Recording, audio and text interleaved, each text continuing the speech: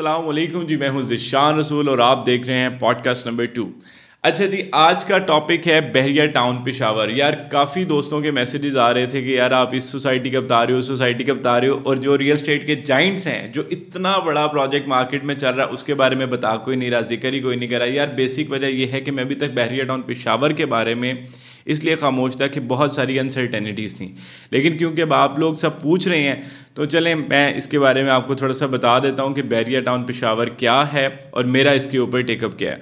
अच्छा यार सीन इस तरह है कि बैरिया टाउन पेशावर पिछले कई सालों से आ रहा था। मतलब ये फॉर द फ़र्स्ट टाइम नहीं है कि बैरिया टाउन पेशावर आ रहा है। बैरिया टाउन पेशावर दो साल पहले भी आ रहा था। पहले भी पेशावर में ऑफ़िस बने, काफ़ी कुछ हुआ और बैरिया टाउन पेशावर आते आते नहीं आया।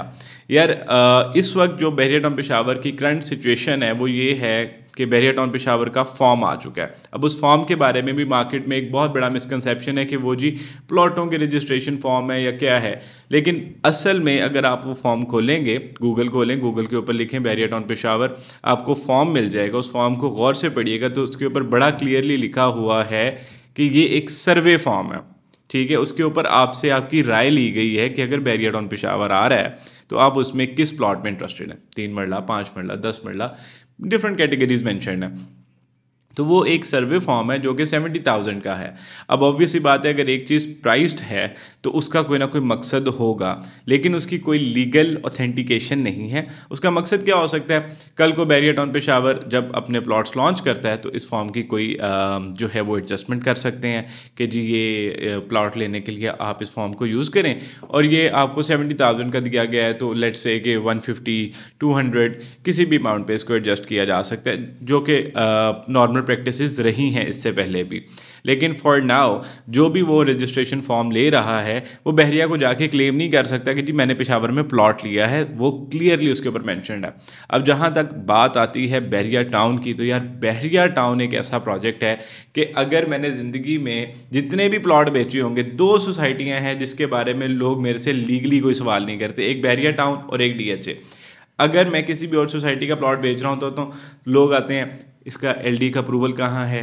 इसका मुझे सबूत दिखा दें डॉक्यूमेंट्स दिखा दें।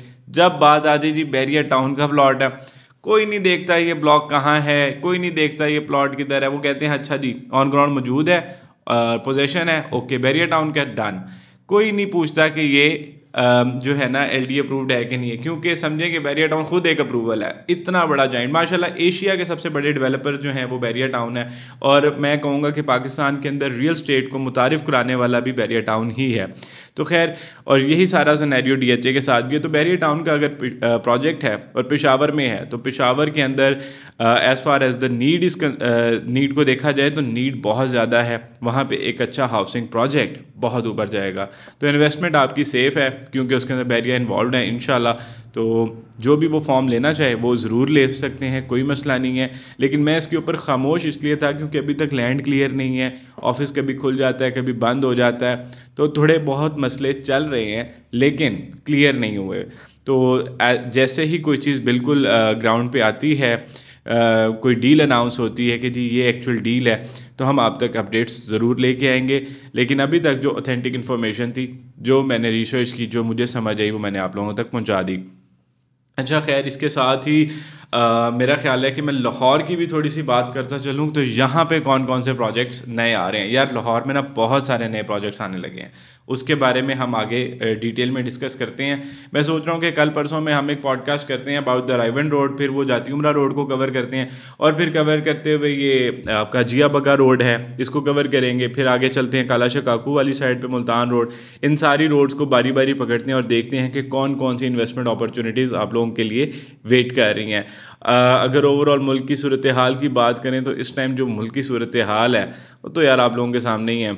चीज़ें बेहतरी की तरफ़ जा रही हैं, लेकिन अभी उस तरह से मार्केट ने बूम नहीं पकड़ा। मार्केट्स बहुत डाउन है। मैं समझता हूँ कि ये लास्ट जो कहते हैं ना, आखिरी हचकोले चल रहे होते हैं तो मेरा ख्याल है कि मुल्क बेहतरी की तरफ़ जा रहा है और इन हम सब दुआ भी करते हैं और हमारी कोशिश भी ये है। तो इस लास्ट पैम के अंदर मेरा ख्याल है कि आप लोगों को अपनी अपनी बाइंग्स कर लेनी चाहिए। ठीक है? अब इसमें बहुत सारे लोग हैं जी, हम मुल्क से बाहर चले जाएँगे तो यार जाना तो जाओ, इसमें हम तो कुछ नहीं कह सकते। आपको, आपकी अपनी चॉइस है।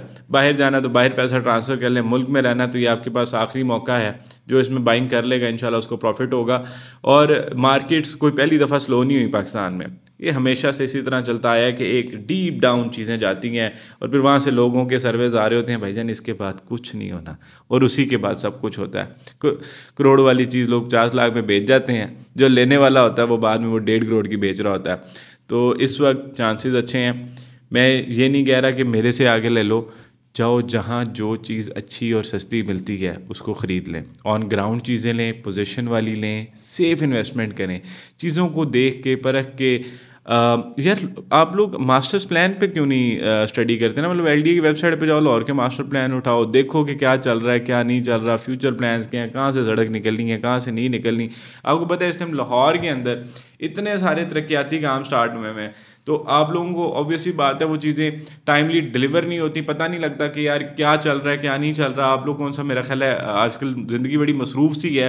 तो लोग निकल निकल के तो नहीं देख रहे होते कि रायवन रोड पर कितना तरक्याती काम चल रहा है। जा, जाके काला शकाको तो नहीं देख रहे होते कितना तरक्याती काम चल रहा है। तो आप लोग नहीं निकलते लेकिन हम आपके लिए निकलेंगे आपका भाई निकलेगा। तो वो सारी इन्फॉर्मेशन आप तक पहुँचाएँगे।